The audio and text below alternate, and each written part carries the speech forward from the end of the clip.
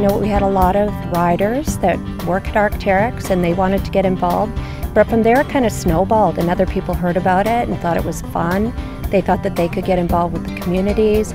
Myself and other people got their kids out to do it, family members, and you know, it was just a, it was a feel-good thing. It was great for us to do that as a rider myself, I've ridden this trail so many times and you ride it and it's like, it's still super fun, but it's like type 2 fun when it's all rooty and stuff.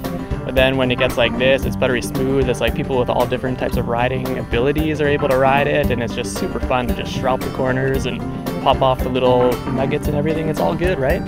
As the Green Committee members, we got an opportunity to come out and give back in the community and whether whether you come out and ride the trails or not, it's important for everybody to get out here and to give back and to make the woods sustainable so more people can get out here and enjoy it.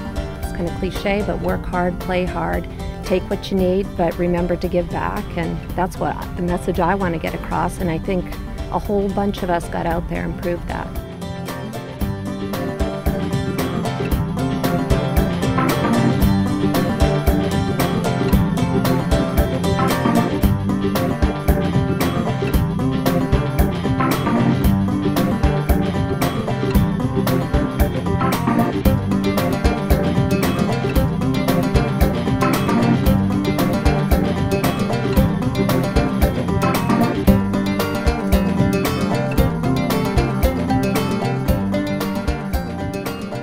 Want to say thanks to Mark and to Digger and to the other guys for coming out here and bringing us out here whenever we wanted to come out, teaching us, teaching us how to have a good time while we build trails. Yeah, they were super flexible and accommodating with their schedules to sort of make it work with us. So that was rad. Thanks, Mark. Yeah. Yeah.